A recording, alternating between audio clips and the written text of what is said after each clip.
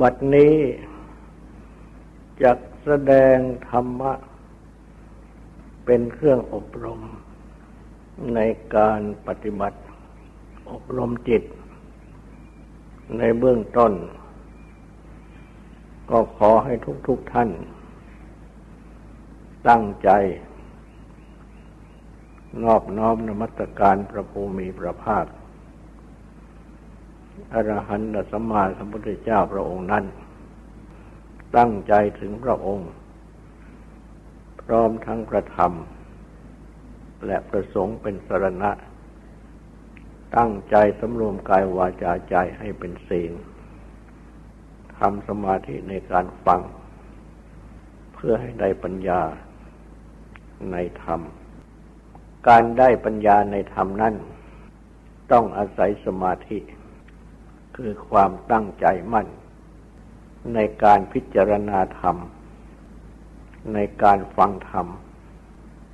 อันตรายของสมาธินั้น ก็คือนิวรณ์ที่แปลว่าเครื่องกัน จิตนี่มีนิวรณ์ก็เป็นจิตที่มีเครื่องกัน ไม่ให้จิตเป็นสมาธิได้ จึงไม่ได้ปัญญา เพราะฉะนั้น ในหมวดธรรมานุปัสสนาติปฐาน ตั้งสติ ตามดูตามรู้ตามเห็นธรรมะ คือเรื่องหรือสิ่งที่มันเกิดขึ้นในจิตพระพุทธเจ้า จึงได้ตรัส สอนให้ตั้งสติกำหนดให้รู้จักนิวรณ์ในจิต ให้ละนิวรณ์ในจิต อันนิวรณ์ในจิตนั้น ก็ได้แก่กามฉัน ความพอใจรักใคร่ในกาม คือรูปเสียงกลิ่นรสโผฏฐะที่น่ารักใคร่ปรารถนาพอใจทั้งหลาย ด้วยอำนาจของกิเลสกาม คือกิเลสที่เป็นเหตุใคร่ต่าง ๆ พยาบาท ความมุ่งร้ายไม้ทำลาย รวมถึง ความกระทบกระทั่งจิตใจ ความโกรธแค้นขัดเคือง โทสะ ความประทุษร้ายหรือประทุษจิต จิตที่ประทุษร้าย ทีนมิทะ ความง่วงงนเคลิบเคลิมอุทธจักกุจจะ ความพุ่งซ่านรำคาญใจ วิจิกิจชาความคิดเครือแพงสงสัยต่าง เหล่านี้ มักมันเกิดขึ้นครอบงำจิตของสามัญชนทั่วไป เป็นกามาฉันบ้างเป็นพยาบาทบ้าง ไม่เช่นนั้น ก็เป็นความง่วงวุ่นเคลิบเคลิ้มถ้าไม่ง่วงวุ่นเคลิบเคลิ้มก็เป็นความฟุ้งซ่านรำคาญใจ และความที่มีใจสงสัย ลังเลไม่แน่นอน เหล่านี้ ย่อมมีอยู่เป็นปกติในจิตของสามัญชนทั่วไป ตรวจดูจิตใจของตนเองก็จะเห็นได้และโดยปกตินั้น จิตก็คิดพุ่งซ่านไปเรื่องโน้นบ้างเรื่องนี้บ้าง อันเป็นเรื่องที่ผูกใจยินดีติดอยู่บ้าง หรือเป็นเรื่องที่ไม่ถูกใจบ้าง เป็นบุคคลเป็นสิ่งที่ถูกใจบ้าง ไม่ถูกใจบ้างนั่งกล่าว และในขณะที่มีจิตสงบอยู่บ้างเช่นในขณะฟังธรรมหรืออบรมธรรมะเรามักจะง่วงเหงาเหานอน เป็นความโรกคุณง่วงงุนเคลิบเคลิ้มเมื่อหายง่วงก็ฟุ้งซ่านหรือว่าเมื่อไม่เป็นอย่างอื่น ก็เครือบแคลงสงสัยลังเลไม่แน่นอน มักจะเป็นดังนี้ ฉะนั้นจึงทำสมาธิไม่ได้มาก พระพุทธเจ้า จึงได้กำหนดจึงได้ตรัสสอน ให้กำหนดดูนิวรณ์ในจิตใจของตน เมื่อมีอยู่ก็ให้รู้ว่ามีอยู่ เมื่อไม่มีก็ให้รู้ไม่มี และนิวรณ์ที่ไม่มี จะมีขึ้นใดโดยประการใดก็รู้ประการนั้นนิวรณ์ที่มีอยู่ จะละเสียได้โดยประการใดก็รู้ประการนั้น นิวรณ์ที่ละแล้วไม่บังเกิดขึ้นได้ อย่างไรก็ให้รู้ อย่างนั้น เพื่อที่จะได้ปฏิบัติ อาศัยสติที่กำหนดรู้ดังนี้ป้องกันนิวรณ์ไม่ให้เกิด ละนิวรณ์ที่มันเกิดขึ้น และปฏิบัติให้ไม่ให้ไม่ให้มันเกิดขึ้นอีก และเมื่อปฏิบัติได้ดังนี้ จึงจะละนิวรณ์ได้ จิตจึงจะสงบสงัด จากกามและอกุศลธรรมทั้งหลาย เป็นสมาธิได้ จะได้สมาธิในการปฏิบัติสติปัฏฐาน ที่กำหนดกายมีลมหายใจเขาออกเป็นต้น จะได้สมาธิในการกำหนดเวทนา สุขทุกข์เป็นกลางกลางไม่ทุกข์ไม่สุข จะได้สมาธิในการกำหนดพิจารณาจิตทำจิตให้สงบ และจะได้พิจะได้สมาธิในการที่ละนิวรณ์นี้ได้ และเมื่อละนิวรณ์ได้ จิตก็ชื่อว่าสงบตั้งมั่นเป็นสมาธิ เป็นจิตที่ควรแก่การงานกันหมายความว่า ควรที่จะปฏิบัติ เพื่อปัญญาต่อไป อันเป็นฝ่ายวิปัสสนาปัญญา ปัญญาที่รู้แจ้งเห็นจริง หากจะมีปัญหาว่าปัญญารู้แจ้งเห็นจริงในอะไร ก็คือรู้แจ้งเห็นจริงในขันห้านั่นเอง พระพุทธเจ้า จึงได้ตรัสสอนไว้ว่า สมาธิพิกเวภาเวทะภิกษุทั้งหลาย เธอทั้งหลาย จงอบรมสมาธิ สมาหิโตยธาภูตังปยานาติเพราะว่าจิตที่ตั้งมั่นเป็นสมาธิแล้ว ย่อมรู้ตามความเป็นจริง ดังนี้ ก็คือรู้ความเป็นจริงในขันห้านั่นเอง ฉะนั้นพระพุทธเจ้า จึงได้ทรงแสดงขันห้าในหมวด ธรรมานุปัสสนาธิปทาน ต่อจากนิวรณ์ขันห้านั้น ก็คือ รูปประขันกองรูป เวทนาขันกองเวทนา สัญญาขันกองสัญญา สังขารขันกองสังขารวิญญาณขันกองวิญญาณ รูปก็คือรูปประกายอันนี้การประกอบด้วย ธาตุทั้งสี่ ดินน้ำไฟลมเรียกว่าเป็นมหาภูตรูป คือรูปที่เป็นส่วนใหญ่หรือเป็นหมดใหญ่ และประกอบด้วยอุปาทายรูป รูปอาศัย คือรูปที่เป็นส่วนประกอบ มีประสาททั้งห้า คือ จักขุ ตา โสตะหูกานะจมูกคิวหาลิ้นกายะกาย ประสาทเป็นต้น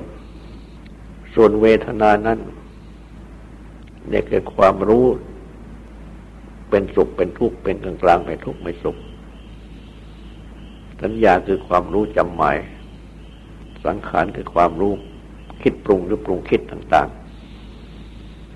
ไปตามสัญญาที่จำได้และวิญญาณ คือความรู้ ที่เรียกว่าเห็น ในเวลาที่ตากับรูปประจบกัน ความรู้ที่เรียกว่าได้ยิน ในเวลาที่หูกับเสียงประจบกัน ความรู้ ที่เรียกว่าทราบกลิ่น ในเวลาที่จมูกกับกลิ่นประจวบกัน ความรู้ที่สับรสในเวลาที่ลิ้นกับรสประจวบกัน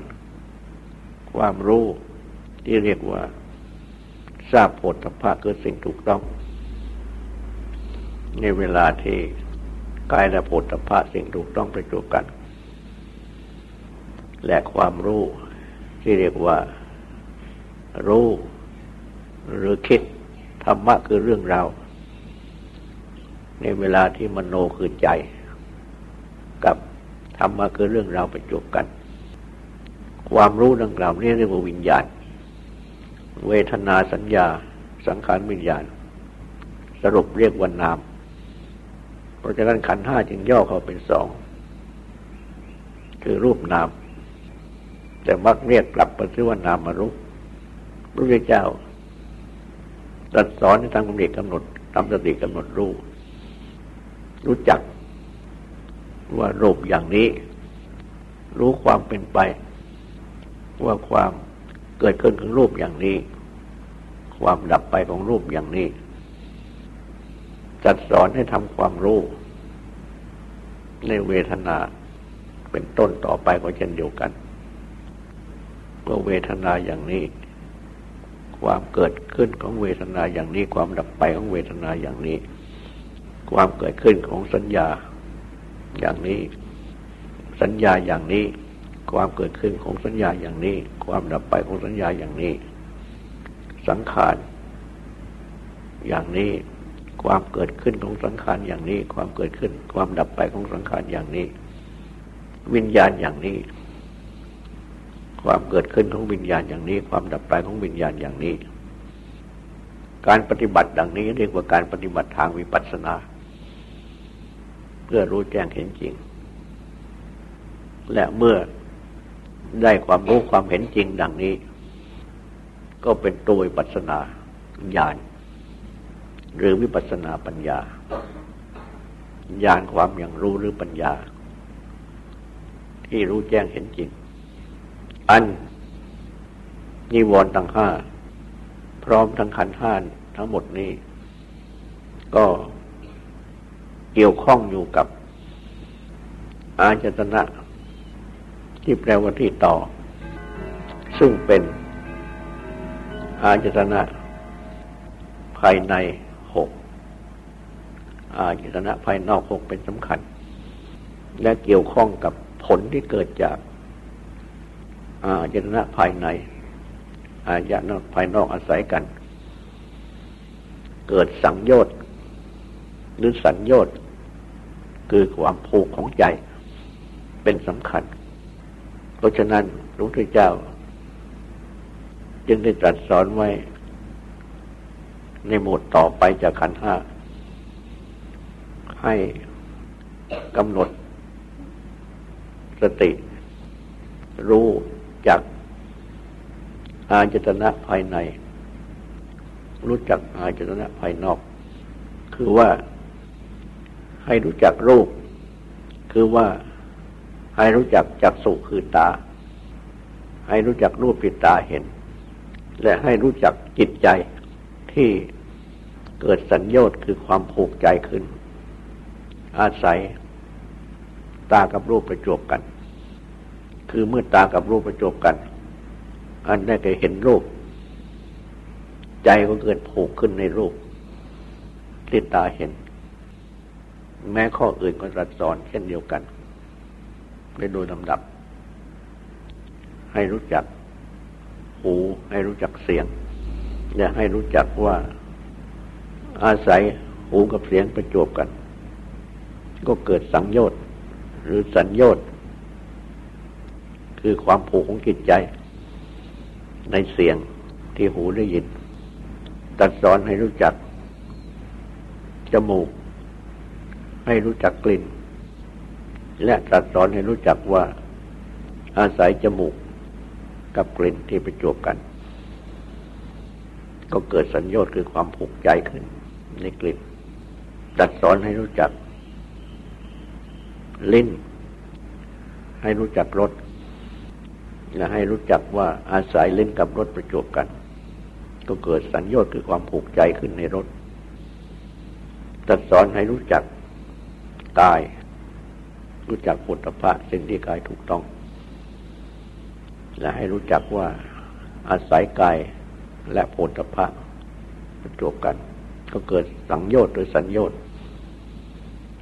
ความผูกใจ ในสิ่งที่กายถูกต้องขึ้น ตรัสสอนให้รู้จักว่า ตรัสสอนให้รู้จัก มโนคือใจ ให้รู้จัก ธรรมะคือเรื่องราวกระตอนให้รู้จักว่า อาศัย มโนคือใจ กับธรรมะคือเรื่องราวประจวบกัน ก็เกิดสังโยชน์หรือสัญโยชน์หรือความผูกใจขึ้น ในเรื่องราวนั้น ๆ ที่ใจคิด ใจรู้ ท่านอธิบายว่า สัญโยชน์ดังกล่าว คือชั้นทราคะ ความติดใจ ด้วยอำนาจของความยินดี แต่ตามศัพท์ของสัญญน์นั้น แปลว่าความผูก คือความที่จิตนี้เองผูกอยู่กับรูปที่ตาเห็น เสียงที่หูได้ยิน กลิ่นที่จมูกได้สับรสที่ลิ้นได้ทราบโอตภาพที่กายได้ถูกต้อง และธรรมะคือเรื่องราวที่ใจได้คิดได้รู้ คือใจไม่ปล่อยไม่วาง แต่เขาไปผูกไว้กับใจ ตามศัพท์ของสัญญน์มีดังนี้พระพุทธเจ้า จึงตรัสสอนให้รู้จักว่า สัญญน์เกิดขึ้นโดยประการใดให้รู้ประการนั้น สัญญน์ที่มันเกิดขึ้น ละเสียได้โดยประการใดก็รู้ประการนั้นรัสสอนให้รู้จักว่า สัญญน์ที่ละได้แล้วจะไม่มันเกิดขึ้นได้โดยประการใดก็ให้รู้ประการนั้นคือตรัสสอนให้ละสัญญน์และปฏิบัติไม่ให้สัญญน์มันเกิดขึ้นอีก พิจารณาดู ตามแนวที่ตรัสสอนไม่นี้ ก็อาจจะนำเอา ข้อนิวรณ์ข้อขัน มาเชื่อมเขาได้ กล่าวคือ สัญญน์นี้เอง เป็นเบื้องต้นของนิวรณ์และอายตนะภายใน อายตนะภายนอก นี่เองเป็นเบื้องต้นของสัญญน์คือเพราะอายตนะภายในอายตนะภายนอกประจบกัน จิตของสามัญชนนี้จึงได้เกิดผูกขึ้นมา เป็นสัญญน์และเมื่อจิตผูกขึ้นมาดังนี้แล้ว จึงได้เกิดเป็นตัวนิวรณ์ขึ้นมา เป็นกามาชันบ้าง เป็นพยาบาทบ้าง เป็นทีนมิทะบ้าง เป็นอุตจักกุจจะบ้าง เป็นวิจิกิจฉาบ้าง สืบมาจากสัญญน์เพราะฉะนั้นในการปฏิบัติละนิวรณ์นั้น จึงจำเป็นที่จะต้องรู้ที่เกิดของนิวรณ์ว่าคือสัญญน์และ ที่เกิดของสัญญน์นั้นก็เนื่องมาจากอาเจตนาภายในอายตนะภายนอกเป็นประการสำคัญ เพราะฉะนั้นขั้นตอนของการปฏิบัติ จึงจำเป็นที่จะต้องปฏิบัติ เพื่อตัดสัญญน์และจะตัดสัญญน์ได้ ก็ต้องอาศัยทางปฏิบัติอื่น ๆ ข้อสำคัญก็คือว่า จะต้องมีสตินี่เองคอยกำหนดดูให้รู้ ในขณะที่ อายตนะภายใน อายตนะภายนอก มาประจบกันอยู่เป็นคู่คู่อยู่โดยปกติ จะต้องมีสติสำรวมระวัง ตาสำรวมระวังหูสำรวมระวังจมูก สำรวมระวังลิ้นสำรวมระวังกายสำรวมระวังใจ ที่เรียกว่า อินทรีย์สังวรความสำรวมอินทรีย์คือสำรวมทางหรือทวารทั้งหกนี้ ในเวลาที่มาประจบกันของอายตนะภายในอายนะภายนอกนั่งกล่าว โดยตรงก็คือว่า มีสติสำรวมระวังจิตนี้เอง ที่จะไม่ยึดถือ รูป เสียง กลิ่นรสผลธรรมะเรื่องราวที่ประจวบเข้ามา ทางตา หู จมูก ลิ้นกาย และมณคือใจ อยู่ทุกขณะ ไม่ยึดถือทั้งหมด ไม่ยึดถือบางส่วนของอารมณ์เหล่านี้ แต่ว่าวางใจ ปล่อยใจให้ผ่านไปเจอเห็นแล้วก็แล้วไป ได้ยินแล้วก็แล้วไปทราบกลิ่นแล้วก็แล้วไปทราบรู้แล้วก็แล้วไป ถูกต้องแล้วก็แล้วไป คิดรู้เรื่องราวอะไรแล้วก็แล้วไป เป็นเรื่องเรื่องไป ไม่ยึดถือ แล้วความยึดถือนี่แหละเป็นตัวสัญญาณซึ่งนำให้เกิดยินดีเกิดยินร้ายขึ้นมา เกิดหลงงมงายขึ้นมา นั่นเป็นตัวนิวรณ์ดังกล่าว ถ้าหากว่า มีสติป้องกันจะได้ตั้งแต่ในขั้นแรก ที่ทวารทั้งหกนี้เป็นอินทรีย์ทั้งวนอยู่แล้ว ก็สามารถที่จะปฏิบัติระงับได้ ไม่ให้จิตใจผูก มื่อระงับจิตใจผูก เมื่อระงับจิตใจไม่ให้ผูกได้ ก็เป็นอันว่าระงับสังโยชน์ได้ เมื่อระงับสังโยชน์ได้ก็ระงับนิวรณ์ได้ แต่ทางนี้ก็ต้องอาศัย วิปัสสนาปัญญาในขันห้าช่วยด้วยเช่นกัน เพราะว่าขันห้านี้เองเป็น ตัว สร้างกิเลสตัณหา เป็นตัว สร้างสัญญาเป็นตัวสร้างความติด ที่ว่าเป็นตัวนั้นก็คือว่า ในเมื่อยึดถือ ขันห้าโดยอุปาทานความยึดถือ เป็นอุปาทานขันธ์ ขันเป็นที่ยึดถืออยู่ แล้วขันห้านี้ ก็เป็นที่เกิดของกิเลสตัณหาทั้งหลาย เป็นที่เกิดของสัญญาณเพราะว่า เมื่อยึดถือขันห้านี้ ก็เป็นอัตตาคือตัวตน โดยเหตุว่ายึดถือว่า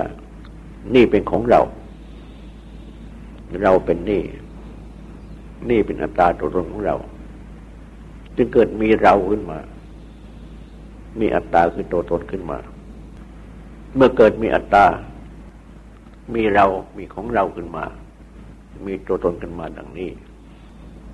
จึงมีเรามีของเรา ออกยึดถือ รูปปิตาเห็นเสียงที่หูได้ยิน เป็นต้น แล้วก็กล่าวด้วยว่า ยึดถือทั้งสองยึดถือทั้งทั้งทั้งทั้งตาทั้งรูป ทั้งหูทั้งเสียงเป็นต้น เป็นอันว่ายึดถือทั้งอายตนะภายใน ทั้งอายภายนอกทั้งหมด จึงได้เกิดเป็นสัญญาขึ้นมาเกิดเป็นอิวรณ์ขึ้นมา ก็อาศัยขันธ์ห้านั่นเอง เป็นที่เกิดขึ้นมาดังนี้ จนกว่าที่จะเกิดวิปัสสนาปัญญา มองเห็นเกิดดับของขันธ์ห้าและกล่าวให้หมดจดว่า รู้จักขันห้า รู้จักความเกิดของขันห้า รู้จักความดับของขันห้า รู้จักเกิดดับ เมื่อเป็นดังนี้แล้ว ก็จะเป็นเหตุให้ปล่อยวางได้ และเมื่อปล่อยวางได้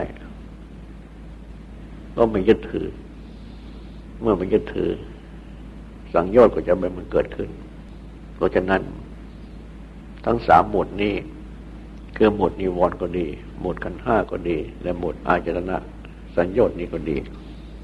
การปฏิบัติจึงต้องสัมพันธ์กันต้องอาศัยกันขึ้นไป ดังนี้ยังจะละนิวรณ์ได้ และละความยึดถือในขันห้าได้ และก็ละสัญญาได้ ต่อไปนี้ขอให้ตั้งใจบางสูตรและตั้งใจทำความสงบสืบต่อไป